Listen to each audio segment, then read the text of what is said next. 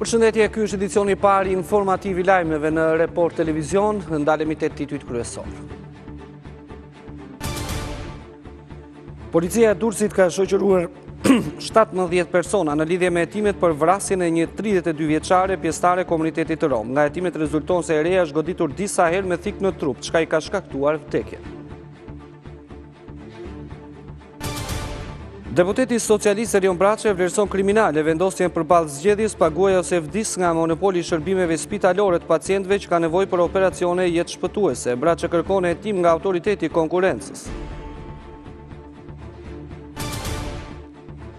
Banka e Shqipërisë vendosi të mos rrisë normën bazë të interesit duke e lënë 3%. Në konferencën për mediat një ditë më parë, guvernatori Gent Sejko tha se nëse rënia e euros vijon dhe do të ketë efekte negative, banka do të ndërhyjë në tregun valutor. Përplasjet mes dy palëve në PD vijojnë edhe pse kanë kaluar 4 ditë nga rizgjedhja e Lulzim Bashës. Në studion e Report Televizion, Zheni Korreshi dhe Mirela Karabina kanë reflektuar qëndrime në llogore me deputetin që thotë se Basha nuk është legjitim, ndërsa zëdhënësja e PD-së që nënvizon se Basha vijon punën normalisht.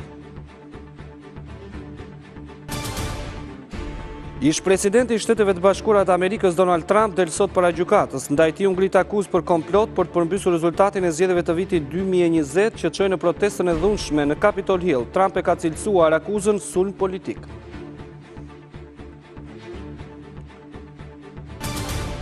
Tirana dhe Beshiktash luajnë sonte në mbrëmje në Air Albania ndeshjen e kthimit në turin e dytë kualifikues të Conference League. Përballja e fundit në Turqi përfundoi 3 me 1 për vendasit, por trajneri i Tiranës Orges Shehi ka shpresa për një paraqitje të mirë.